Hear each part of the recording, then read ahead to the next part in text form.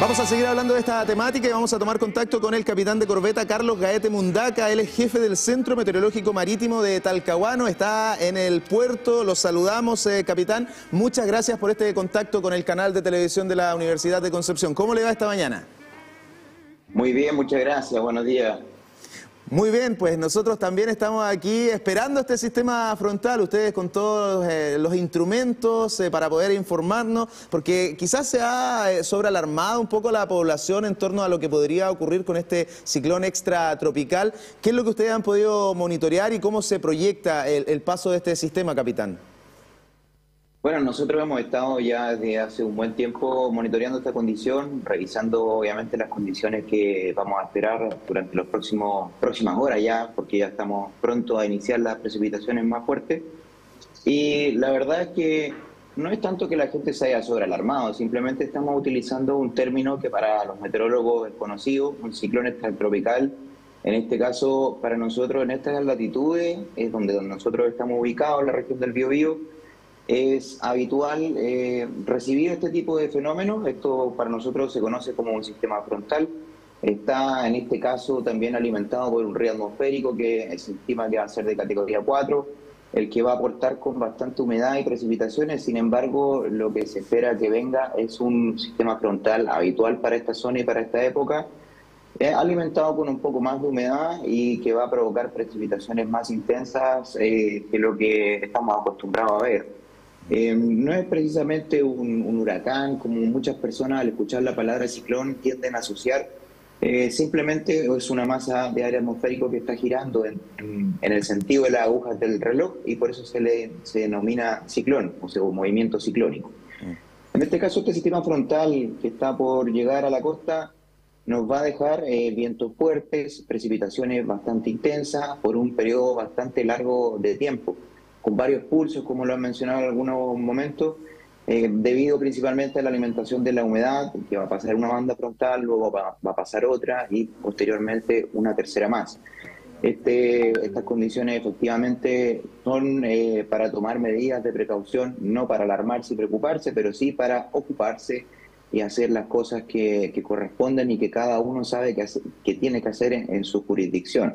Hablamos del ámbito marítimo, en nuestro caso, como Centro Meteorológico Marítimo, ya están alertados todos los usuarios marítimos, agencias navieras, caletas, pescadores, eh, sobre esta condición y por supuesto que ya se están eh, fiscalizando y monitoreando las medidas de seguridad que tienen que tomar. Capitán. Para que así al, término de esto no tengamos eh, accidentes que lamentar. Dígame. Claro que sí, esa es la idea, ¿cierto? Que, no haya personas lesionadas ni mucho menos víctimas fatales. Algunas de, esas, de esas determinaciones por parte de la autoridad marítima tienen que ver con el, el cese de los trabajos en alta mar, se suspenden las salidas. ¿En qué consisten esas medidas?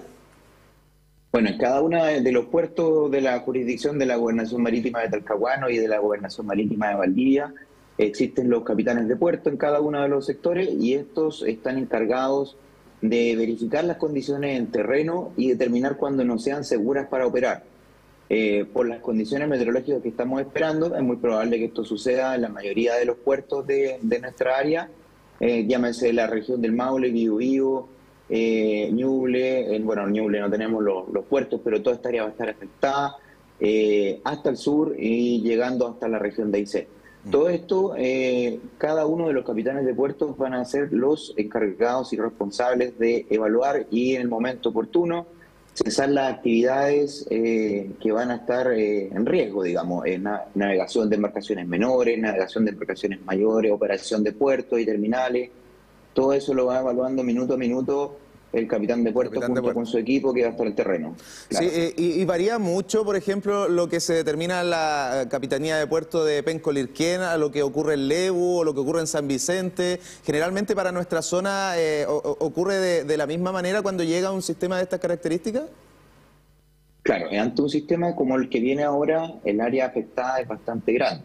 Por lo tanto, las condiciones meteorológicas deberían gatillar en que la evaluación de cada puerto sea muy similar en un área extensa, es decir, casi todos los puertos casi al mismo tiempo estarían empezando a generar estos cierres parciales o totales dependiendo de sus condiciones. Hay otros factores, otras condiciones como por ejemplo cerrazones de niebla o marejada que no le afectan de la misma manera a todos los puertos. Entonces, en ese tipo de condiciones ya sí varía mucho la, decisión que toma cada capitán de puerto con respecto a la operación de, su jurisdicción.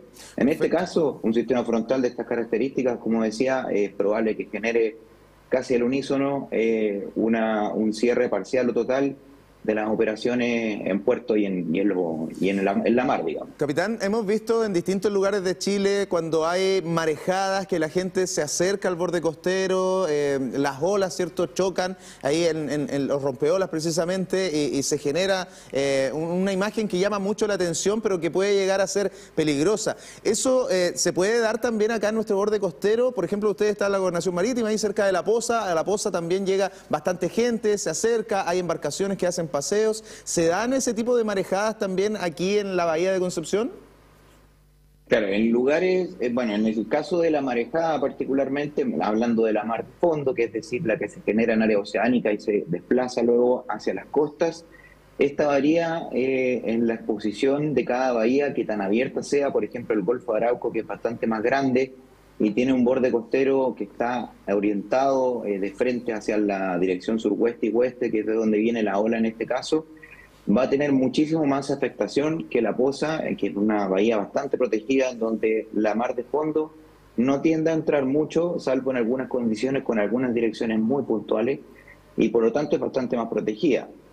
Pero la Poza, en este caso, va a presentar eh, mar de viento generada en forma local, mientras se están registrando las condiciones de, mal, de mal tiempo, digamos, con rachas intensas de hasta 35 nudos, podemos sí generar rompiente, no tan grande como la que vamos a tener en el Golfo de Arauco o en otros sectores como Puerto Savera, que son completamente más abiertos, o Constitución, que, no presentan protección de los mismos cerros, digamos, de la protección orográfica que, evite que la ola entre en forma directa, como el caso también de nuestra Bahía Concepción. Bahía Concepción muy protegida de la ola de fondo, pero vamos a tener presente esta ola de viento que si bien es cierto es más, más baja, también va a generar eh, el, impacto mediático, digamos, de la gente. La gente va a querer acercarse a mirar eh, estas condiciones, a tomarse fotos. Claro. Y bueno, ahí lo más importante de todo esto es que la autoridad marítima siempre hace un llamado a la precaución y al autocuidado, ya que Muchas veces estas personas pueden acercarse al borde costero y sufrir un accidente que podría derivar en lesiones o incluso en la pérdida de la vida de las personas y obviamente con la consiguiente búsqueda que esto significa y el dolor para las familias que están en la incertidumbre de no saber qué ha pasado con su ser querido. Esto obviamente es lo que ha ocurrido y queremos evitar que ocurra llamando a la precaución y al autocuidado.